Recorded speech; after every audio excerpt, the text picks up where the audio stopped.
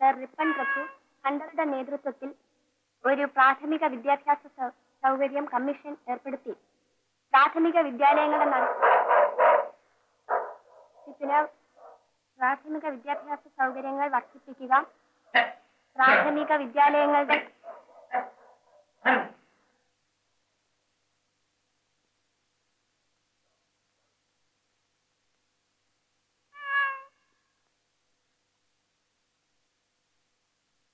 എന്തിയടി എന്റെ ചേച്ചി.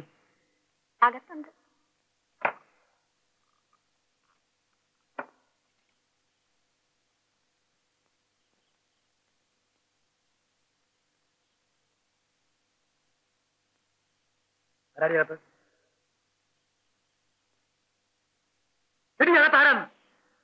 നോക്ക്. അറിയാൻ എത്ര ദൃശ്യമാണേലും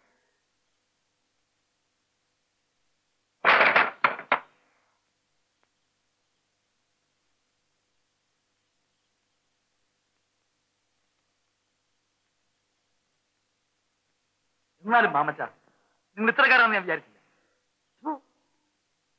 അന്തസ്സുള്ള ഒരുത്തരം നിങ്ങളെന്നായിരുന്നു എന്റെ ഇതുവരെയുള്ള വിചാരം.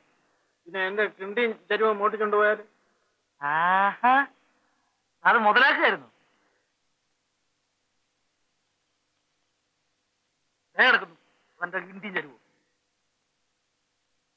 മേലാലി വേലിക്കാത്ത കയറിപ്പോയത്. ഓക്കിരുത്തത്തിൽ വേണം അതിൽ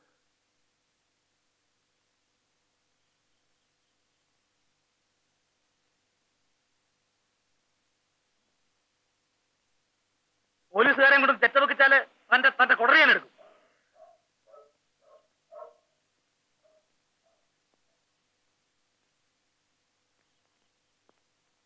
നിങ്ങൾ പാത്രം മോട്ടിച്ചോണ്ടല്ലേ അങ്ങേരി അധികാരത്തിൽ വന്ന് കയറിയത്? ഭർത്താവ് മൂട്ടിച്ചതിന് ഭാര്യ പരിഹാരം കാണുന്നത് വല്ലൊന്നും കൂടെ കിടന്നിട്ടാണ് ഓടി ഉല്ലേ പിന്നെ ഓരോരുത്തന്മാര് ഇന്ന് തങ്ങൾക്ക് മറ്റൊരു തുടപ്പാൻ തോന്നിയില്ലല്ലോ. അപ്പൊ അതിന്റെ അർത്ഥം എല്ലാരും പറയുന്ന പോലെ നീ വ്യഭിചാരിയാന്ന്.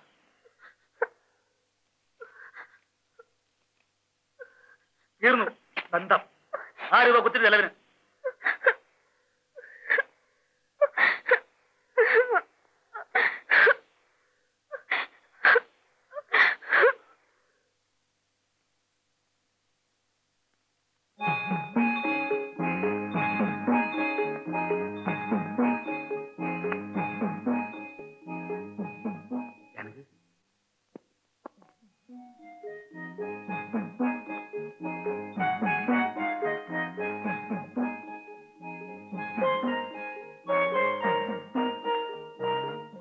കാണാത്തെ എന്താ കാണാത്തേന്ന് ഞാനങ്ങ് പേടിച്ചിരിക്കുമായിരുന്നു എടാ മക്കളെ രണ്ട അച്ഛൻ വന്നു.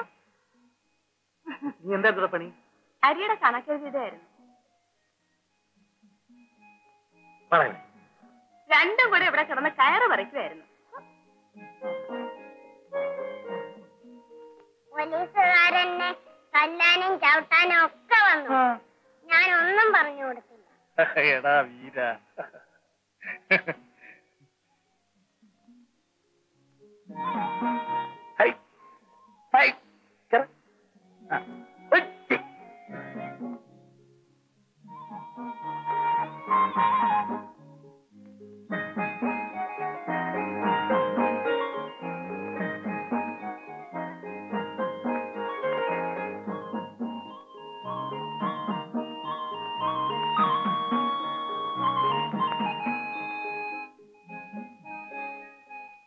പത്ത് പൈസക്ക് ബീഡി എന്നാലും എന്റെ പവിത്ര നല്ല പണിയാ പറ്റി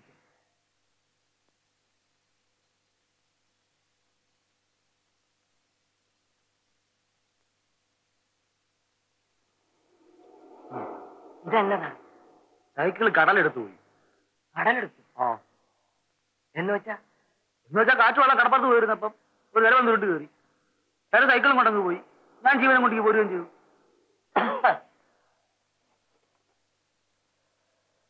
ഏടാന്നേ പവിത്ര രമേന്ദ്ര വിട്ടോ? എന്നൊരു സംസാരം കേട്ടു. വിട്ടു.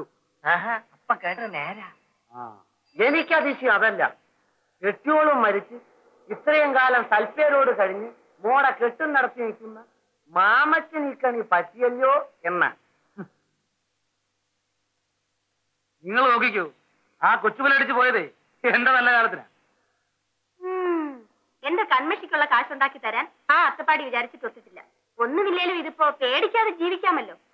മറ്റേത് ഒന്നിനുമില്ലാതെ ഒരു ഒടയക്കാരൻ. ചേടാ എന്നാൽ ഇച്ചയെന്ന് എന്ന് കണ്ട പവിത്രന്റെ മനസ്സ് മാറും. എന്തിന്? ഇതിപ്പോ പാടൊഴിഞ്ഞു. മുമ്പാണേലും എനിക്കും കൊച്ചിനും കഴിയണേൽ ഞാൻ തന്നെ അധ്വാനിക്കണമായിരുന്നു. അല്ലാതെ പിന്നെ കള്ളം പൗത്രം കട്ടോണ്ട് വരുന്നത് വെച്ചാ ഞാൻ ചെലവ് നടത്തിക്കൊണ്ടിരുന്നേ? പോവാൻ പറ. എന്താ എങ്ങോട്ടത്? മില്ലിൽ പോണം.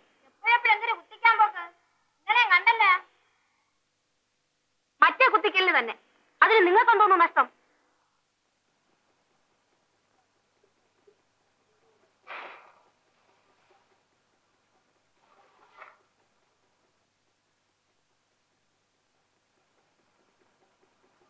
എന്തിനാ ജമേന്തി ഇരിക്കാൻ വേറെ സ്ഥലം കിട്ടിയില്ലോടി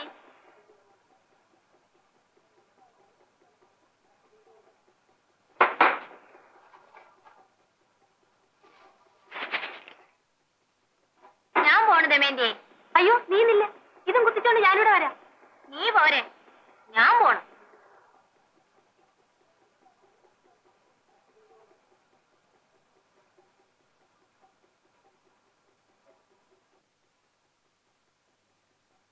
പെണ്ണുമ്പളെ നിങ്ങളെ ശൃംഗാരമൊക്കെ പിന്നെ ഇവിടെ എഞ്ചിൻ ഓടിക്കൊണ്ടിരിക്കുക. ചാരിയൻ ഇടുന്നെങ്കിൽ ഇടാന്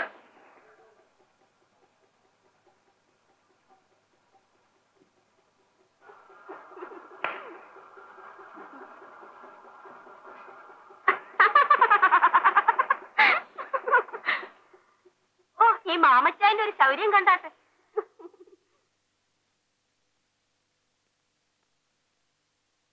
ദമയന്തി ദൈവത്തെ വിചാരിച്ച് എന്റെ മാനം കളയരുത്. എപ്പോഴും എപ്പോഴും ഇങ്ങനെ വന്നു കയറിയ ആളുകൾ അതൊന്നും പറഞ്ഞുണ്ടാക്കും. അങ്ങനെ വെച്ചു തന്നാൽ എടുക്കണേ? ദമയന്തി വേറെ ജനിച്ചുണ്ടാവണം. മാമച്ചായൻ എന്താ അത് കൈകൊണ്ടൊന്ന് എടുത്തു തന്നാൽ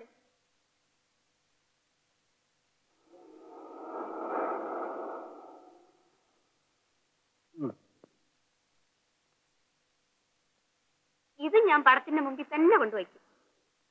അന്ന് തന്ന കാശും പടത്തിന്റെ മുമ്പിൽ തന്നെ വെച്ചേക്കുക.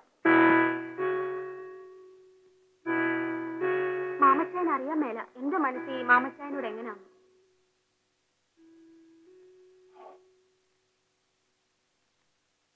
എന്നാ ഞാൻ ഇറങ്ങുന്നേ മാമച്ചായ?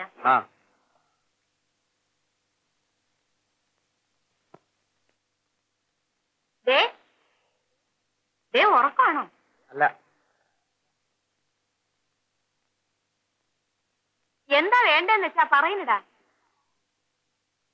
എന്താ? എടാ ചിത്ര നീ പറയടാ. ഇന്ന് സ്റ്റാമ്പിന്റെ കാശ് കൊടുക്കണം. സ്റ്റാമ്പ്? എന്തോ സ്റ്റാമ്പ്? ക്ഷയരോഗ സ്റ്റാമ്പ്.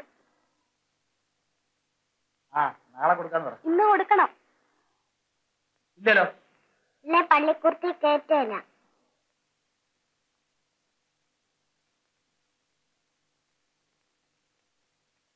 ഇതിന്റെ കാശുണ്ടോ?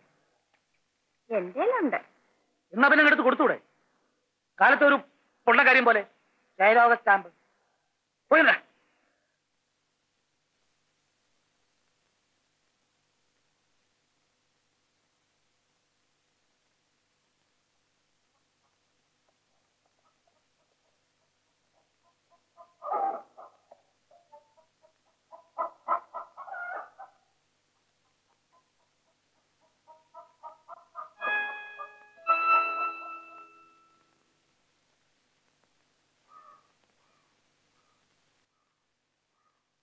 ഇതെന്തോന്ന് നിപ്പ്?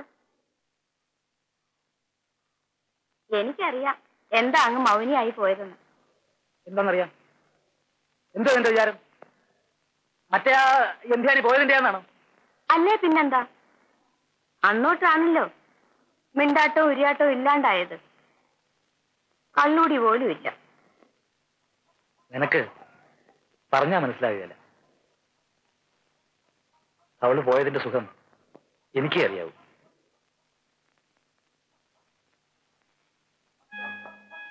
എല്ലാം എന്റെ പൂജയുടെയും പ്രാർത്ഥനയുടെയും ഫലമാ. അങ്ങനെയൊന്നും ഒരാൾ വിചാരിച്ചാലും കൊണ്ടുപോകാൻ ഒക്കത്തില്ല.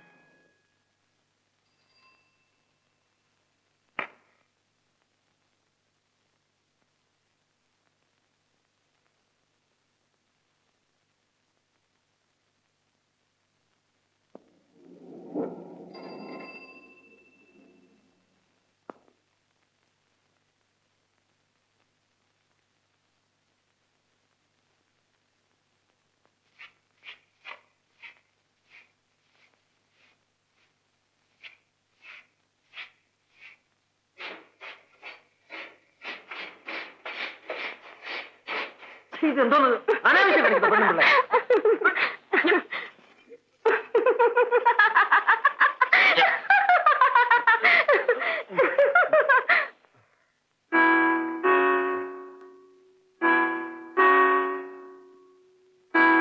എന്റെ അന്നമാ അതിലൊന്നും ജോലി മുട്ടിക്കണ്ട അയ്യോ ഞാനത് ഓർത്തില്ല. ഇവിടെ ആരും തൂക്കം തുറക്കൊന്നും വേണ്ട. നിങ്ങളൊന്നും നിങ്ങളൊന്നും ഇറങ്ങി പോയി തരാം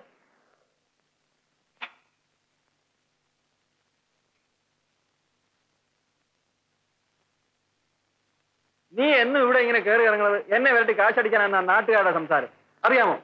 ഞാൻ എന്തെങ്കിലും അച്ഛനോട് എന്തെങ്കിലും ആവശ്യപ്പെട്ടിട്ടുണ്ടോ? അത് നമുക്കല്ലേ അറിയാവൂ. നമ്മൾ അറിഞ്ഞാ മതി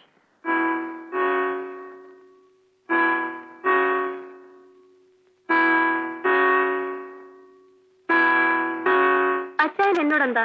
കണ്ണിച്ചോരയില്ലാതെ പെരുമാറുന്നേ? നീ അല്ലയോ കണ്ണിച്ചോരയില്ലാതെ കളി കളിക്കുന്നേ? ഒന്നുമല്ല.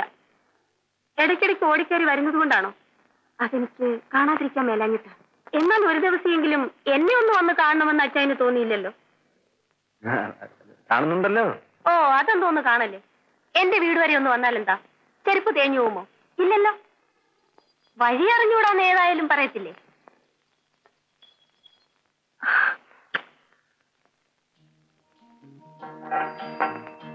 ഇന്ന് വരാതിരുന്നാലാ?